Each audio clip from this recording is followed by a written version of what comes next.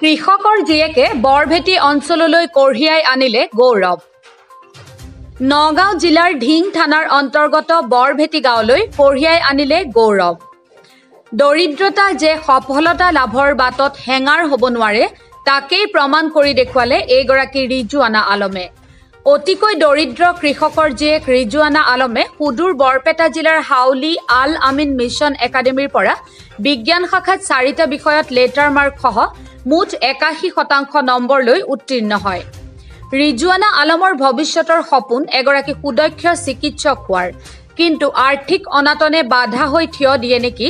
ভৱিষ্যতৰ জীৱনত সেয়া হ'ব লক্ষণীয়। ঢিঙৰ পৰা ভিডিঅ' জাৰ্নেলিষ্ট ছাইফুল ইছলামৰ সহযোগত ইছামুদ্দিন আহমেদৰ ৰিপৰ্ট আৱাৰ্লি টাইমছ।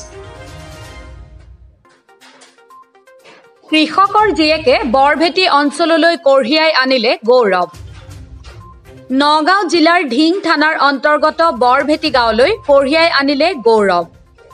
দৰিদ্ৰতা যে সফলতা লাভৰ বাটত হেঙাৰ হ'ব নোৱাৰে তাকেই প্ৰমাণ কৰি দেখুৱালে এইগৰাকী ৰিজুৱানা আলমে।